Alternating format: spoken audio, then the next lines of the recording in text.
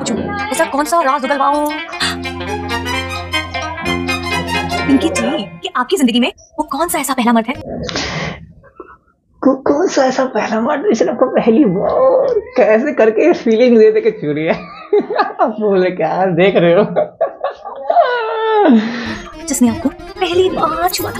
आपको तन बदन छुआ था देखे तन बदन में छुआ था।